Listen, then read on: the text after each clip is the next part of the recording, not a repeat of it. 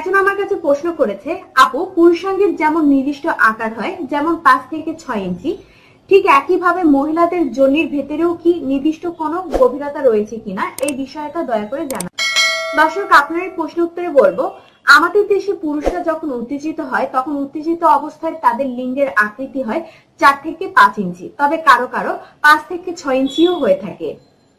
কিন্তু পুরুষের যখন লিঙ্গ উত্তেজিত থাকে না বা লিঙ্গ নরম থাকে তখন কিন্তু ওই নরম অবস্থায় পুরুষের লিঙ্গের আকৃতি হয় দুই থেকে তিন ইঞ্চি।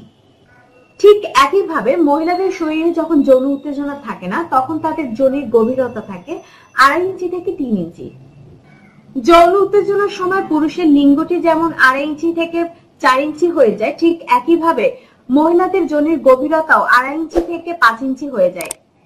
মহিলাদের যোনি এমন ভাবে তৈরি যে পুরুষের লিঙ্গ যদি কিছুটা লম্বা এবং কিছুটা বেশি মোটাও হয়, তাহলে মহিলা ওই বড় পুরুষাঙ্গ এবং মোটা পুরুষাঙ্গ নিতে সক্ষম। মহিলাদের যৌনাঙ্গের গভীরতা বড় বা ছোট হওয়ার সাথে স্বামী স্ত্রীর যৌন মিলনে আনন্দ লাভ করার কোনো সম্পর্ক নেই। কারণ মহিলারা যৌন মিলনের সময় আনন্দ বা মজা অনুভব করে তার যৌনাঙ্গের ভেতরে প্রথম দুই ইঞ্চির মধ্যে।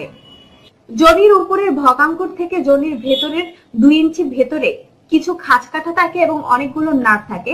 এই নার্ভগুলো উত্তেজিত হলে এবং এই খাঁজ কাটা জায়গায় ঘষা লাগার কারণে মহিলারা যৌন মিলনের সময় আনন্দ অনুভব করে।